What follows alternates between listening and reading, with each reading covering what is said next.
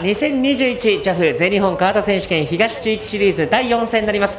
FS125 部門の暫定表彰を行います。えそれではこの第4戦勝ちましたのはカーナンバー14番フォーミュラブルーエッフェガーラ野沢優斗選手です。おめでとうございます。どうぞ表彰台にお上がりください。そして第2位カーナンバー52番ガレージ C 伊藤佑選手どうぞ表彰台にお上がりください。そして第3位カナンバー22番エナジージャパン堂園修選手です。おめでとうございます。さあそれでは3選手にまずは弱の表彰立てが贈られます。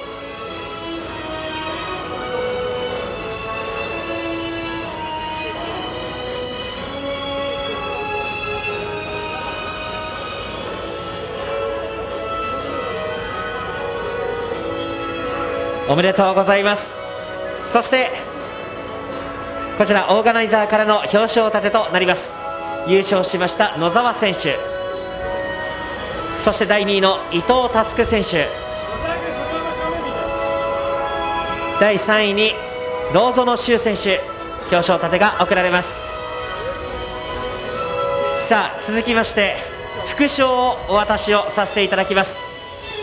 ブリヂストン賞といたしまして優勝しました野沢優斗選手には賞金10万円が贈られます。おめでとうございます。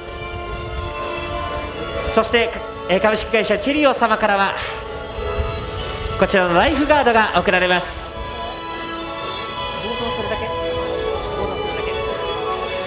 さあそして、えーこちらもですねはい、えーグリーンヒルズ、えーホテルズさんからはい。先ほどと同じようにですね無料の宿泊券が贈られます。おめでとうございます。さあそして花束をこちらの方で置かせていただきます。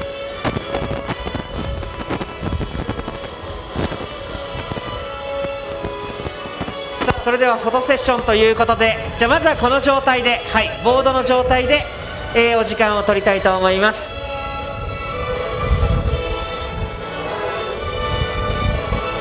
おめでとうございます。じゃあちょっとボードを置いていただいて表彰立てバージョンでいきましょうか。はい。すいません。失礼させていただいて。はい。はい。ありがとうございます。では表彰立てバージョンで。はい。少しお時間を取りたいと思います。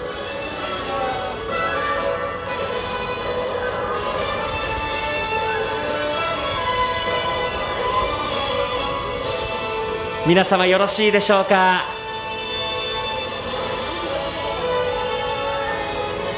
野沢選手優勝おめでとうございます。ありがとうございます。完璧なレース運びだったと思いますがいかがですか？そうですね。はい。あの昨日から結構ドライもレインも調子良かったんであのまあすごい結果に満足してます。